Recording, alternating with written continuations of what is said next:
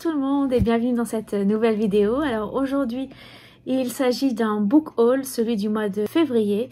Alors il y a beaucoup beaucoup de livres, il y en a 19 donc je vais aller assez rapidement. Je vais vous présenter tout ça. Il y en a beaucoup parce que c'est le mois de mon anniversaire donc j'ai eu beaucoup de livres en cadeau donc euh, je suis euh, très contente, très enchantée. Donc euh, bien je vais vous présenter tout ça. C'est parti Vous voyez il y a trois tas. Donc je vais vous présenter d'abord euh, les livres de la maison d'édition Livres de poche, ensuite les PKJ et puis après tous les autres ce sont des euh, maisons d'édition euh, différentes donc je vais vous présenter au fur et à mesure que ça viendra. Alors chez les livres de poche j'ai acheté Red Queen de Victoria Aviard, le tome 1. J'ai beaucoup de tomes 1 d'ailleurs, il va falloir que je m'attelle à les lire hein, pour pouvoir continuer les sagas. Il s'agit de l'histoire de Mère Barrow qui a 17 ans et qui tente de survivre dans une société qui la traite comme une moins que rien. Sauf qu'un jour, eh bien, elle va s'apercevoir qu'elle a des pouvoirs qu'elle n'imaginait pas et euh, donc sa vie va changer du tout au tout. Elle se retrouve euh, enfermée dans le palais de la famille royale, promise à un prince et donc elle va devoir apprendre à déjouer les tours, euh, les intrigues de la cour, à maîtriser le pouvoir et puis à reconnaître ses ennemis. Ça a l'air très palpitant. Je pense que ça va beaucoup me plaire. Ensuite, toujours dans la même maison d'édition, j'ai acheté Everless de Sarah Holland, le tome 1. J'en ai entendu un petit peu parler en bien et en mal, donc euh, j'ai hâte de voir euh, ce que ça donne, de, de me faire mon propre avis. C'est l'histoire de euh, Julie qui vit dans la misère avec son père et en fait ils vivent dans un royaume où tout se paie en fer de sang. Donc c'est-à-dire que euh, c'est euh, un métal précieux qui est fabriqué à partir du sang qui est prélevé. Sauf qu'à chaque fois qu'on prélève du sang, eh bien ça nous enlève du temps de vie finalement. Pour éviter que son père euh, se condamne en se faisant prélever du sang, eh bien elle se fait engager comme domestique à Everless. Euh, qui euh, est euh, la résidence de la famille la plus puissante du royaume. Sauf que à Everless, elle y vivait quand elle était plus jeune avec son père jusqu'à ce qu'ils aient un accident. Et donc son père lui a ensuite interdit de, retourner dans ce royaume parce que si on la reconnaît, eh bien elle court un grave danger. Donc là, encore une fois, ça m'intrigue et je pense que ça pourrait me plaire. Donc, donc j'ai hâte de le lire. Ensuite, j'ai eu pour mon anniversaire le tome 1 de Rule de Hélène Goodlet, qui a l'air génial celui-ci également. Sophie, Ren et Akela vivent au royaume de Colonia. Elles ne se connaissent pas et n'ont rien en commun. Lorsque le roi les convoque, elles s'attendent au pire. Chacune d'elles cache un lourd secret qui pourrait porter atteinte à leur vie. Quand le souverain leur révèle qu'elles sont ses seules héritières, le combat est lancé et chacune est bien décidée à prouver qu'elle mérite de régner mais quelqu'un colonia connaît leurs secrets et ne reculera devant rien pour les manipuler et les empêcher de conquérir le trône. Ensuite, chez euh, PKJ, Pocket Jeunesse, j'ai acheté le premier tome de The Mortal Instrument de euh, Cassandra Clare, de Cassandra Clare, pardon. J'en ai entendu euh, beaucoup parler, je sais qu'il y a d'autres séries un peu euh, compagnons ou spin-off, je ne sais pas comment on dit. Donc je, je, ne sais pas du tout si je vais aimer, mais en tout cas quand je suis allée au magasin et que je l'ai donné à la vendeuse, elle m'a dit euh, oh, c'est pour vous, oh, c'est génial. Donc bon, on verra bien. J'espère que ça me plaira. Ensuite, j'ai acheté Inheritance Games de Jennifer Lynn Barnes. Donc on en entend beaucoup parler là en ce moment puisqu'il est sorti euh, très récemment. C'est l'histoire d'une de Avery qui est une lycéenne qui n'a pas beaucoup de sous et puis euh, un jour, euh, elle se rend compte que euh, un milliardaire lui a légué toute sa fortune alors qu'elle ne le connaît pas du tout. Mais pour pouvoir hériter cette fortune, il va falloir qu'elle vive pendant une année entière dans son manoir, je crois que c'est son manoir, oui, une mystérieuse demeure, où vivent encore les quatre petits-fils du défunt. Et donc, du coup, euh, évidemment, ils sont pas contents. ils, ont, ils ont perdu tout leur héritage à cause d'elle. Ils sont bien décidés, eux, à, récupérer leur dû, finalement. Et donc, euh, du coup, elle va devoir déjouer des manigances, résoudre des énigmes, enfin, voilà, ce genre de choses. Donc, ça a l'air très, très sympa. Et le dernier de chez PKJ, c'est Une Bresse sous la cendre de Sabah Tahir, euh, qui est donc là aussi un tome 1 euh, et euh, j'en ai entendu beaucoup beaucoup de bien. Je pense que je vais pas tarder à le, à le dévorer. De ce que je comprends du résumé, parce que je ne sais plus du tout euh, l'histoire, c'est l'histoire de Laïa, une esclave, et d'Elias, un soldat d'élite, qui vont tout tenter pour retrouver la liberté et sauver ceux qu'ils aiment. Donc, si mon résumé n'est pas terrible, vous m'excuserez, hein, mais vous me direz, si vous l'avez lu, ce que c'est exactement. Alors ensuite, je vais faire ce tas-là. Donc j'ai eu aussi pour mon anniversaire Lune ardente de Morgane Rugraff, publié aux éditions Plume Blanche. Et là encore, c'est un tome 1. Et donc de ce que je sais, c'est qu'il y a euh, les sombres lunes et les sangs de soleil qui sont des peuples ennemis. Et donc, euh, donc les sangs de lune adorent la lune et les sangs de soleil adorent le soleil. Et donc du coup, les deux peuples sont sur le point de se faire la guerre. Et donc pour empêcher cette guerre, il y a euh, Sioban Calypsa qui est une princesse donc de la lune qui va du coup pactiser avec le roi du peuple ennemi et donc elle va être euh, promise, elle va épouser son fils aîné et donc euh, pour pouvoir préserver la paix, protéger son peuple. donc du coup ça a l'air assez, assez intrigant. Euh, j'en ai entendu beaucoup de bien par certaines youtubeuses. Je ne connais pas du tout d'ailleurs euh, les éditions Plume Blanche. C'est le premier livre que j'ai euh, de cette maison d'édition. Donc on verra bien ce que ça donne. Ensuite, chez les éditions Casterman, donc j'ai eu également pour mon anniversaire La malédiction de Highmore de Erin A. Craig.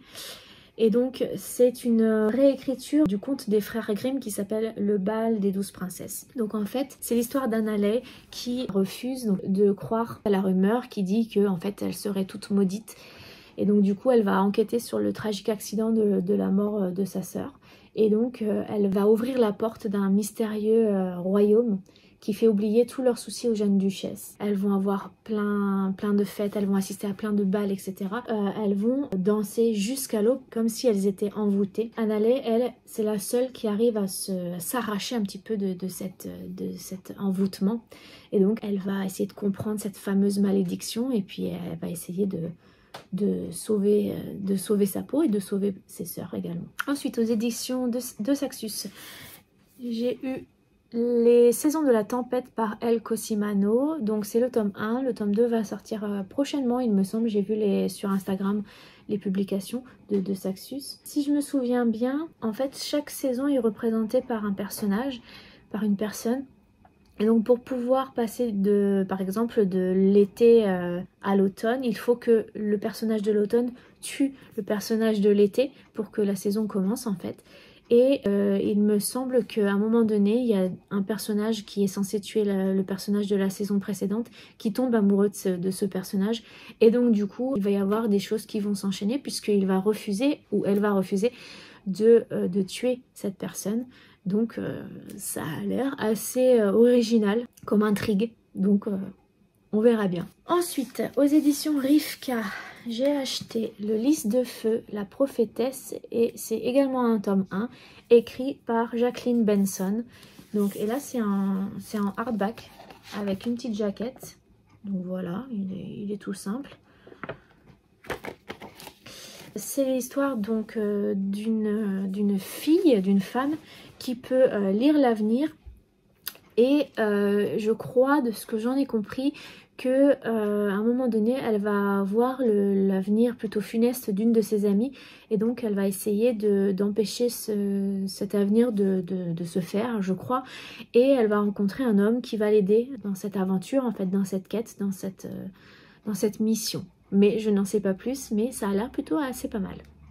Ça a l'air plutôt pas mal. Ensuite, j'ai eu aux éditions Gallimard le tome 2 de Harry Potter, donc Harry Potter et la chambre des secrets, euh, illustré par Mina Lima. Donc, c'est juste, j'ai le tome 1, c'est juste euh,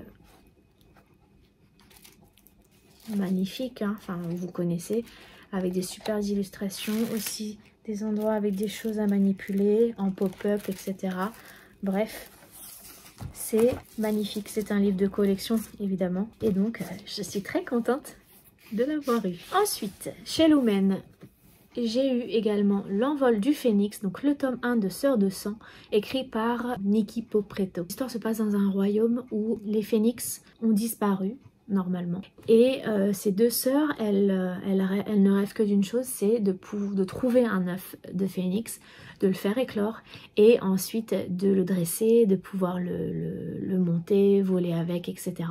Euh, sauf que un jour, donc, elles trouvent des œufs, deux œufs, et donc elles vont s'apercevoir qu'une fois que les phénix ont éclos, elles vont euh, se retrouver un petit peu prises au piège puisque euh, en fait chevaucher des, euh, des phénix c'est puni de mort en fait, elles peuvent, elles peuvent en mourir. Ceux qui pratiquent la magie sont traqués en fait. Donc elles vont devoir vivre dans la clandestinité et puis ce qu'elles ne savaient pas c'est que les dresseurs de phénix ne sont pas tous morts, ils sont retranchés dans une forteresse et en plus, euh, donc, euh, il refuse d'entraîner des femmes. Donc, euh, du coup, elles se retrouvent un peu piégées.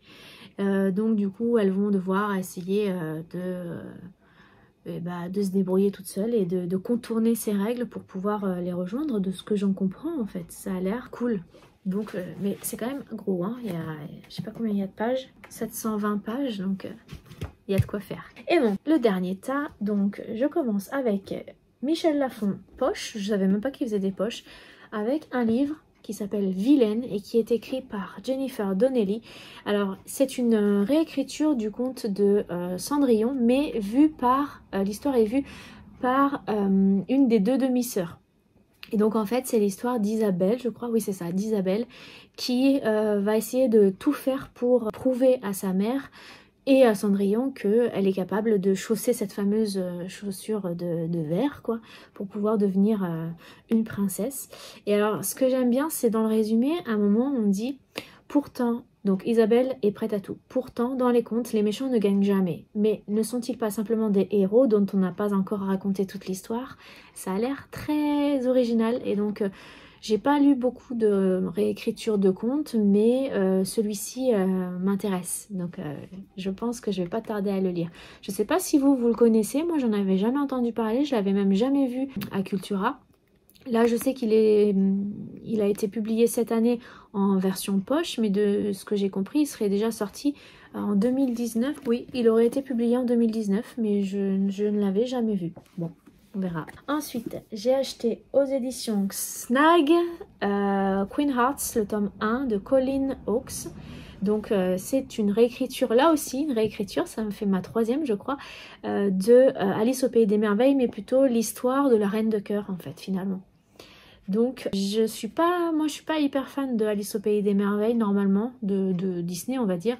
j'ai bien aimé quand même les films ensuite qui ont été faits avec Johnny Depp, mais euh, je suis pas non plus une grande fan euh, malgré tout. Mais là, pour le coup, ça, je trouve que ça pourrait être intéressant de ce point de vue-là, en fait, de découvrir l'histoire de la Reine de Cœur, comment elle est devenue aussi, euh, aussi méchante finalement. Ensuite, j'ai eu aussi pour mon anniversaire Enchantment of Ravens de Margaret Rogerson euh, aux éditions Castelmore. C'est par la, même euh, auteur que Sorcery of Swords, donc j'avais beaucoup aimé ce livre. Bon, c'était pas non plus un coup de cœur, mais j'avais vraiment bien bien aimé. Donc j'ai hâte de découvrir celui-ci.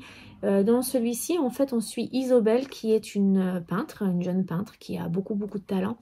Et ce qui est assez intéressant, c'est que les fae, donc les créatures immortelles qui euh, vivent dans son monde, en fait, sont des clients à elle. Eux ne savent pas euh, faire de l'art. Euh, ils sont incapables de, peindre. Et donc, du coup, son talent va être vraiment, vraiment beaucoup convoité. Et donc, le prince d'automne, qui s'appelle Corneille, va lui commander un portrait. Mais elle va commettre une erreur et donc le prince va se retrouver dans une position difficile qui pourrait donc lui coûter la vie. Et donc du coup, euh, ce fameux prince l'entraîne sur la terre des Fae pour euh, comparaître devant un tribunal. Et donc il va y avoir un, c'est va être l'histoire de, de, ce fameux voyage qui va être cerné par des ennemis, etc. Donc du coup ils vont devoir se faire confiance l'un et l'autre pour pouvoir survivre. On verra. Je pense que c'est un one shot, mais je n'en suis pas sûre. Si vous le savez, dites-le moi. Ça serait intéressant de le savoir. Ensuite, j'ai aussi eu Le Château de Hurle aux éditions Roman Yinis, écrit par Diana Wynne Jones. C'est le livre qui a inspiré Miyazaki pour euh, son fameux euh, dessin animé qui est merveilleux, euh, Le Château ambulant. Donc je, l'avais vu il y a très très longtemps. je pense que je le reverrai après l'avoir lu parce qu'il y a quand même pas mal de différences apparemment entre les deux.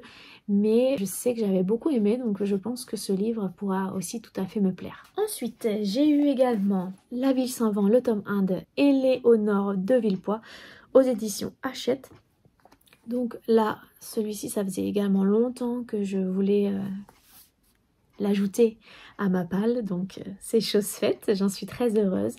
Et donc du coup, euh, c'est l'histoire de Lastianax qui termine sa formation de mage. Un jour, son, mentor euh, est, tué en fait, et donc il veut à tout prix rechercher ce meurtrier et, et le trouver finalement, donc résoudre ce meurtre. J'adore la couverture, je la trouve super belle. Il va se retrouver euh, dans son aventure, il y aura plein d'embûches politiques, il y aura plein de complots, etc. Et il va croiser Arka, une jeune guerrière qui est arrivée depuis peu euh, dans, la ville et qui a un certain talent, alors je ne sais pas lequel. Elle a aussi apparemment tendance à euh, déclencher pas mal de catastrophes, donc je pense que ça peut être assez sympa. Il m'en reste deux. Ensuite, j'ai acheté Avenfall de Sarah Holland, la même auteur que celui que je vous avais montré tout à l'heure, euh, Everless. Euh, donc du coup, lui, il est sorti pareil il n'y a pas longtemps. Donc là, c'est aux éditions Bayard. Regardez-moi cette couverture. Elle est juste magnifique. Alors de ce que je me souviens, en fait, c'est l'histoire d'une fille qui s'appelle Maddy qui vient aider chaque, euh, chaque été son oncle qui tient une auberge à qui se trouve en fait à la frontière entre différents mondes et notamment les mondes de magie. Et pour maintenir la paix, la porte qui communique entre ces mondes doit rester fermée tout le temps. Je crois qu'à un moment donné, Maddy trouve cette fameuse porte ouverte et son oncle inconscient. Donc du coup, l'équilibre entre les mondes est fortement menacé. Donc elle va devoir euh, euh, bah, prendre euh, son courage à deux mains et puis essayer de, sauver cet équilibre, de sauver cette paix qui est fortement compromise. Je pense que ça pourrait, là encore, hein, beaucoup me plaire. De toute façon, tous les bouquins que je vous présente vont forcément me plaire, j'espère en tout cas. Donc, euh, dites-moi vous ce que si vous l'avez lu. Il est sorti il n'y a pas longtemps, en janvier ou février, je sais plus exactement. Et le dernier, c'est aux éditions Pygmalion de Naomi Novik. C'est Éducation meurtrière. En fait, ça se passe dans une école de magie, en fait, où bah, les étudiants sont en compétition, mais le pire, c'est que s'ils échouent, s'ils ratent leurs examens ou leurs épreuves, je ne sais pas comment ce que c'est, eh bien, ils vont mourir. Donc, en fait, euh, ils n'ont pas d'autre choix que de réussir, finalement. donc, il va y avoir une compétition qui va naître entre les différents étudiants. Ça me branche bien, je trouve euh, vraiment très très beau. Il n'est pas très long. il y a une carte à l'intérieur à la fin. Et je crois qu'il y en a une autre au début. Une autre, une deuxième. Ce ne sont pas les mêmes.